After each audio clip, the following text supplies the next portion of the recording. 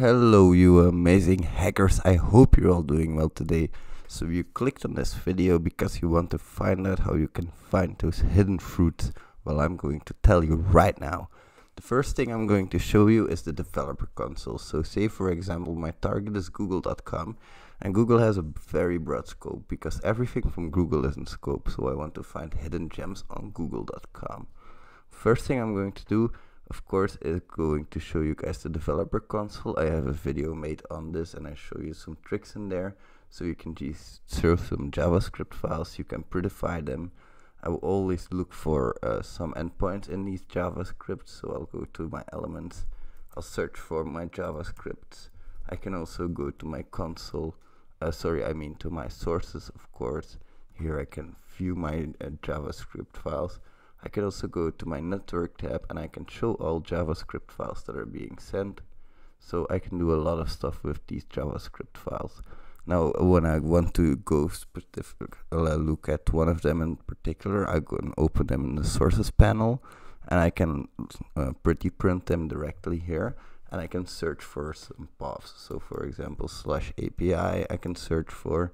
I didn't find anything. Slash YQL is something I use very often. You can look for slash admin. There are different search terms that you can use and I would use a word list that's reliable and one that you've built yourself from all the word lists that are available and from your own experience.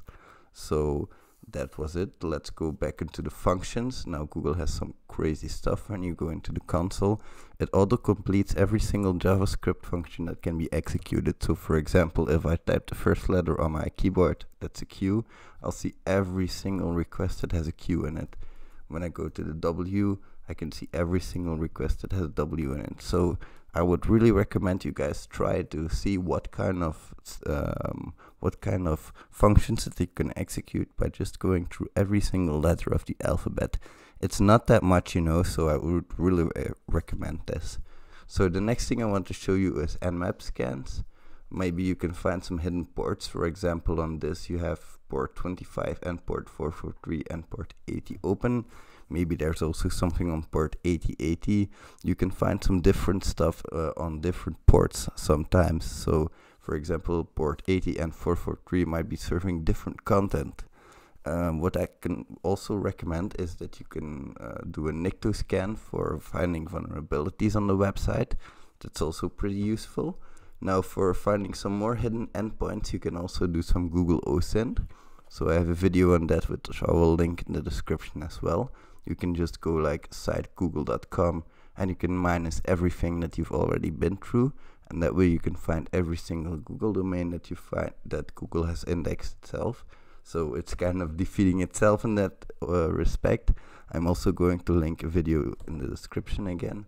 Now the Wayback Machine is also a great source for URLs I can just click the summaries or the sitemaps and find some URLs for example explore the wi-fi.google sorry guys uh, for that uh, for that I can explore the wi-fi.google.com domain and see which endpoints Wayback Machine has indexed.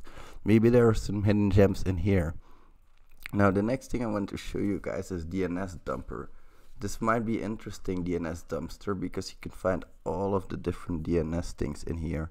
You can find, for example, all of the A records from Google and see which domains they have registered and you might find some hidden domains in here as well. Depending on your scope, this might be interesting.